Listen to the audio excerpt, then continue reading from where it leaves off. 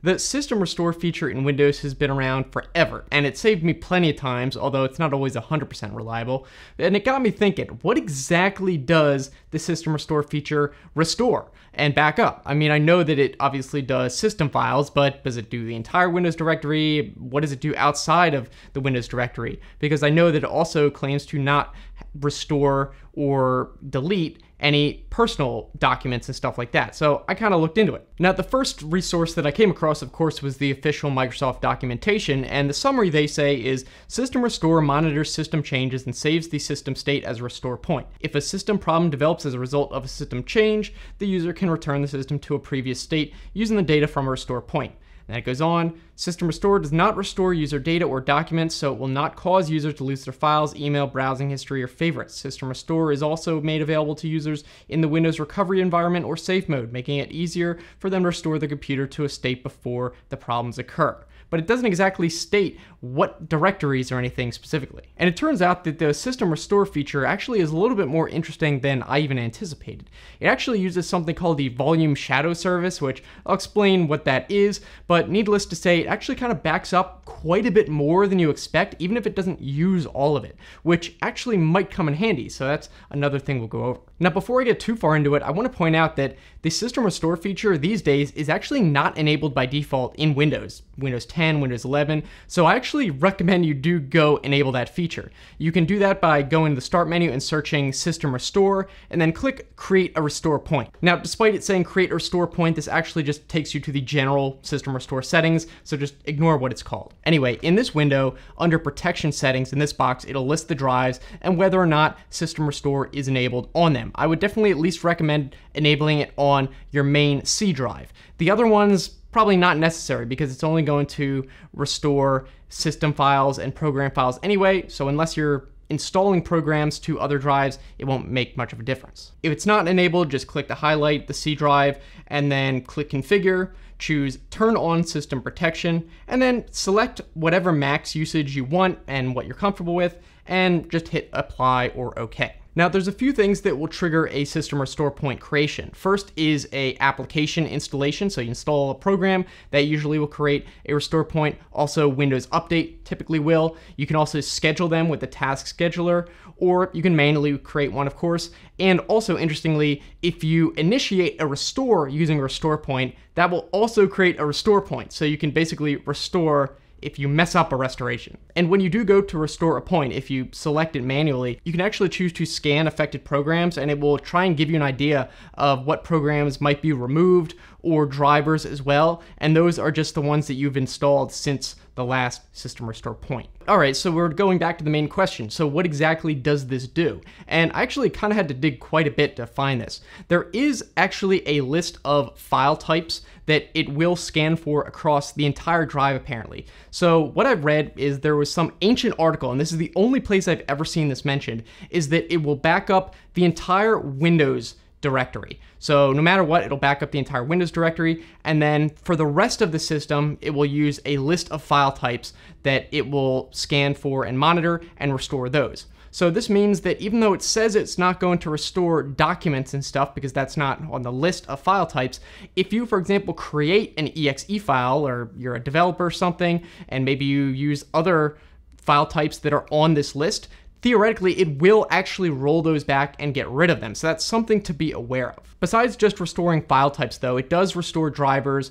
programs like I mentioned before, and updates. So because of this, I believe it has to have some other kind of additional logic in there besides just scanning for if it's a file type that matches this extension, restore it. If not, don't because otherwise how would it undo the installation of certain programs without deleting the whole directory. So I think it must also go into the registry. It does back up the registry, by the way, and see where programs are installed and just delete that whole directory too, I believe is how it works. Otherwise, like I said, if it just deleted all the files, it would just leave empty directories for those programs, which it doesn't do. Now, I'm not 100% sure because this is not documented anywhere, so that's a bit annoying, but that's basically the best I could find. Now, here's an interesting thing though. I'm talking about what System Restore restores and backs up, but actually behind the scenes, there's actually way more that is backed up than what System Restore actually uses. And that's because ever since Windows Vista, the System Restore feature uses something called the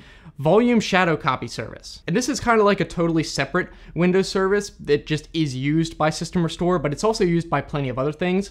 And basically, that creates a copy of your entire drive effectively. Now, it doesn't create a one to one copy, but it basically creates a difference copy. So, you probably have seen this in some programs that do backups that are incremental backups. So instead of literally making a copy of your whole drive and doubling the amount of data, if you change a file, it'll literally just record the change in that specific file. So it might only take up like a few kilobytes, even if the file is very large. So effectively what happens is when you go to create a restore point, it really actually calls this volume shadow copy service, which then creates a snapshot of the entire volume, or at least the difference of it, so that it can go back and recreate what that whole drive looked like. So really, it's not just storing just the stuff that System Restore Point is using, but actually the entire drive. And that actually has an interesting implication because you can actually go into that shadow copy, explore it, and take files out of it, even older versions. If it's in there, if you deleted a file, you delete it from the recycle bin, but it was in that snapshot, you can actually go back and get it, even if it was not something that would have been restored by System Restore. So here's how to do that. There's a program called Shadow Copy View by NirSoft. You probably heard me talk about him before. Basically, he creates all these very specific Windows utilities. One of them is going to allow you to look into these shadow copies. So you open it up and it'll list them right there. It'll show you the date they're created. And these are effectively system restore points unless you have some other program that creates them for other reasons. And in here, you can basically see it is an entire snapshot of the whole drive at the time. It's almost one to one compared to what you see on my main drive now because I created this test shot not too long ago. But again, it's not a one-to-one copy, it just stores the differences. So if there's no difference, then it's not gonna take up any space. So I'll show you an example. I'll create this test file in the C drive and just say this is before the snapshot, and then I'll go and create a system restore point. So here I'm going to do that. And then if we refresh shadow copy view, we can see there's a new one that appeared and there is that file that I just created. So now what I can do is go into this text file and change it to pretend like I messed it up or something. But if we go back into that shadow copy, I can actually use this program to copy it out. And let's just put it in the B drive. And if I open it back up now, it's what it was before. So this is not even something that would have been restored if I ran a whole system restore because it technically would be a personal document or whatever. It's not on that list. But because it is backed up by the shadow copy service, which doesn't care. I was able to go back and grab it anyway. So that is something I even did not know before researching this video. So basically, if you mess up a file, you could theoretically use this as kind of like a Hail Mary to see, oh, I hope it's maybe in a snapshot, you might be able to restore it. Although I definitely would not rely on this because if you aren't creating snapshots regularly, then you don't know when the last one will be. And Windows doesn't tend to keep too many anyway. We saw that there was a hard limit on the allocation size, and I think by default, it's only like a few percentage or like 10 gigabytes max. It's not gonna store too much. You'd be way better off using the actual file history feature, which is dedicated for this purpose. It will hourly back up all your files or the differences of them. So if you do mess up a file, you're way more likely to be able to restore it using that feature. And you could just buy a dedicated hard drive through USB or something, put it on there, then you don't have to worry. I still would have a actual backup drive to do like a full backup, but that is still better than nothing. And I did make a video talking about that before actually. Another reason why you don't want to necessarily rely on system restore, especially for malware or something, is I've actually seen examples of certain advanced malware where one of the things it does is deletes all the shadow copies. So you can't go back to a previous one knowing that you have a virus. So that's definitely something to be aware of. You're better off just creating, you know, backups that are disconnected when you're not creating the backup. And that way, if a virus gets you, there's not going to be any way for it to infect the disconnected copy and you can restore from that. Really, in my opinion, the best use case for System Restore is if you do install a program that for whatever reason messes up Windows or you uninstall a program and it does the same thing but it's not a virus, that's probably where you would use system restore. The only problem is there's plenty of times where I've tried to do a system restore and for whatever reason, it fails. And it doesn't tell you why. Possibly it could be an antivirus program interfering. So maybe that's something to try is disable the antivirus if you're trying to restore. Don't do that if you have a virus and that's the reason you're trying to do it. Just something to try. All right, now, because I think I rambled a lot in this video, let me try and sum it up more concisely to answer the question. What exactly does the system restore feature backup and restore?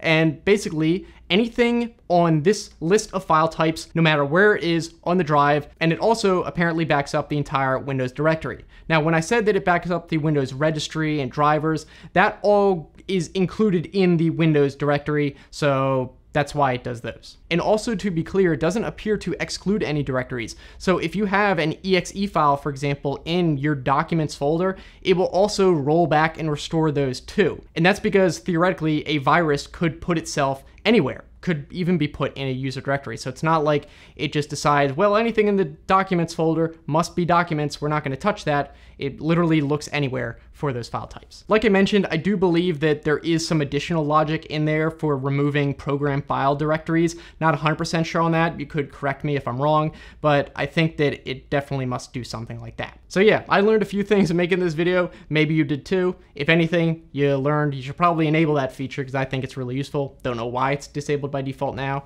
And now you can know what exactly it does. So let me know what you think down in the comments. Of course, if I messed anything up, let me know and I'll make a correction in the pinned comment, description, all that good stuff. If you like this video, maybe consider checking out the rest of my channel and subscribing. If you do, also be sure to click the bell to enable all notifications. These days, YouTube might not show you videos even if you do subscribe. If you want to keep watching, the next video I'd recommend is the one where I was talking about that file history feature and how to use that and why I think you should. So you can just click on that right there. So thanks so much for watching, guys, and I'll see you in the next video.